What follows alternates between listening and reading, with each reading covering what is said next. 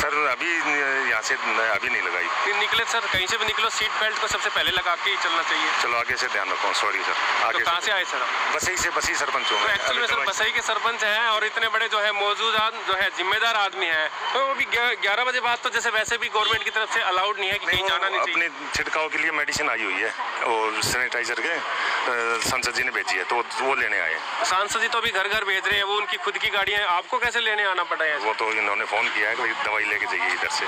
अच्छा आपको बुला लिया गया उन्होंने। सीट बेल्ट आपने लगाई नहीं आपको पुलिस वालों ने पकड़ लिया।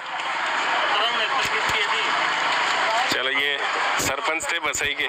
उन, उनको जैसे पुलिस ने पकड़ा है अब देखते हैं कि चलान कटता है या बसते हैं क्योंकि इन्होंने जो है सीट बेल्ट नहीं लगा रखी थी।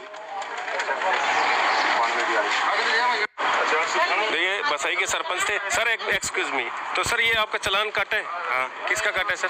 गाड़ी का और किसका? नहीं किसका? किसका कौन सी चीज़ आपने? सीट बेल्ट का।